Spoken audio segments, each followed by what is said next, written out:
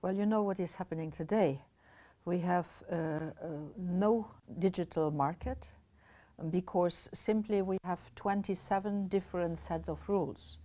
And uh, a company which wants to serve the whole of the European Union, 500 uh, million potential uh, consumers, well, it has to uh, adapt to 27 sometimes conflicting rules. That is the reason why we do not really manage to set up a real digital internal market, which would be an extraordinary force uh, for Europe to do so.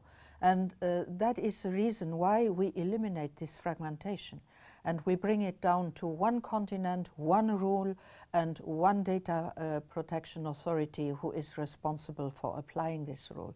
That will be easier for uh, the company, whatever company, a European one or a non-European one, and it will be much more sound for the citizen who will know that I go to my data protection authority and uh, he will see to uh, that uh, my problem is solved. I think it was an interesting experience. Um, students in Austria uh, feeling uh, very upset with Facebook and trying uh, to get their right, whatever they think is their right. That's another story. Uh, now, uh, they were savvy people, knowing to speak English and knowing the law. Uh, imagine a simple citizen in Austria. What would he have done? Nothing except complaining to himself and to his neighborhood. Um, but fortunately, this was taken up in the right way, which means that the national regulator of Austria, uh, together with the national regulator in Ireland, where Facebook has its main um, uh, sitting, uh, were collaborating together. Tomorrow, this will be a natural way to do but it will be much easier because it will be according to one law. So doesn't count very much if the company is seated in Ireland or if it is uh, seated in France um, or in Spain. The same law will apply and the national regulator will apply common European law and will collaborate with the other national regulators in order to get that done swiftly and rightly and fairly. Absolutely, and we see that uh, these bright inventors are all over the place and fortunately they invent gorgeous uh, services. Now we have to see that these uh, gorgeous services stay gorgeous and don't get out of hand.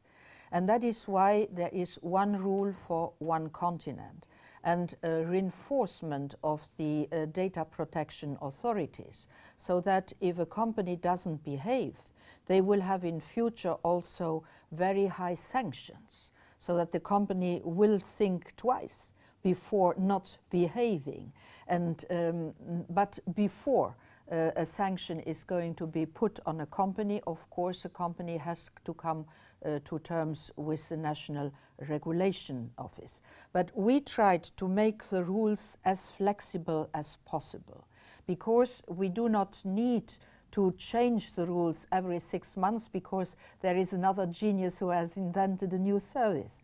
So the rules have to be flexible enough in order to be adapted to whatever new service will be invented in the future.